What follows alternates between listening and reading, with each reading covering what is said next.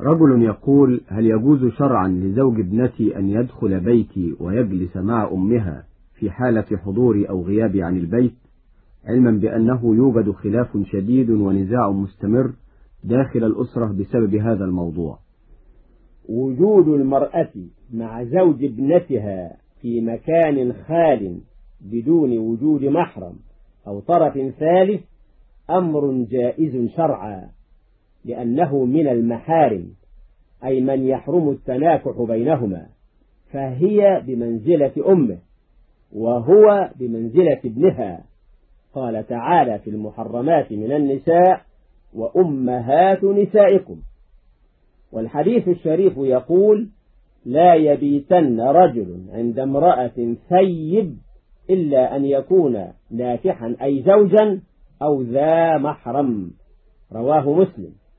ويقول لا يخلون أحدكم بامرأة إلا مع ذي محرم.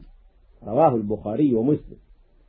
فإذا أحس الزوج أن هناك ريبة في هذه الخلوة كان على المرأة أن تستجيب لرغبة زوجها وأن تمتنع عن الخلوة مع زوج بنتها على الرغم من أن ذلك حلال.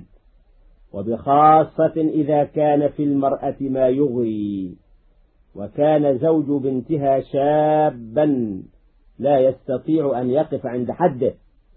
يقول النبي صلى الله عليه وسلم ما استفاد المؤمن بعد تقوى الله خيرا له من زوجة صالحة إن أمرها أطاعت وإن نظر إليها سرت وإن أقسم عليها أبرت وإن غاب عنها نصحته في نفسها وماله.